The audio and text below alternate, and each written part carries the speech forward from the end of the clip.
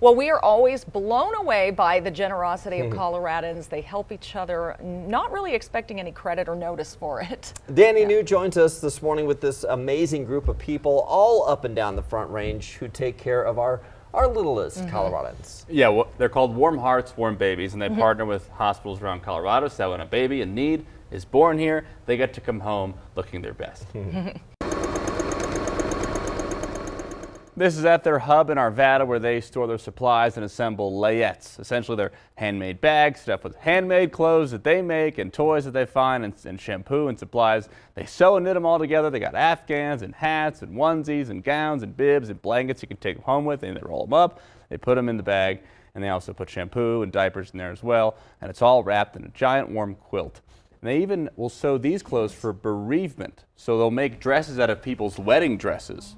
And that way the babies be brought home in, in something beautiful and made with loving hands, as they put it. Uh, so this organization means a lot to these women, like like Glenda here, a former Denver 7 everyday hero, who that's her granddaughter Eleanor. They've been volunteering together for years, becoming since she was a baby. And President Sandy Powell has put it, they are all on a mission. Why, why do you think that they want to come and volunteer? for the babies. Yeah, it's important that the babies get a good start, and it's it's from their heart. Their heart, mm-hmm. when those babies' hearts are beating for the first time. Yes, and it's important that they have something to go home in, especially in the winter, something to keep them warm. It, it's it's important.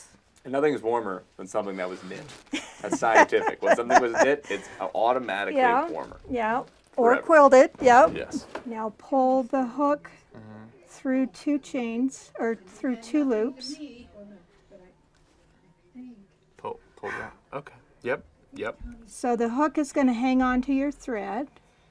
And now they have one more volunteer, but I might take a little longer than most Yeah, of them. Yeah, Yeah. that baby will That'll be a- done by 2026. yeah, the baby will be in college by the time I'm done knitting. Right.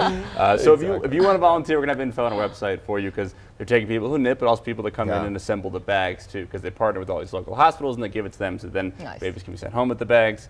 It's really special what they You do. You can never have too many blankets for a newborn. Oh, too. yeah. I, felt, I mean, we, we use them all the time. You know, burp cloth. There was so Oh, many, yeah. so much you, You- registered for that we never used. But True. you just Ba- blankets, though, yeah. get yeah. down to the comfort items. and then you keep them forever too. I mean, Yeah. we Keep still the blanket. have we still have mm-hmm. all of ours. Yeah. and they go to college with like this is Yeah. Blanky. I was taking Sweet. home in him with mm-hmm. him. Yeah.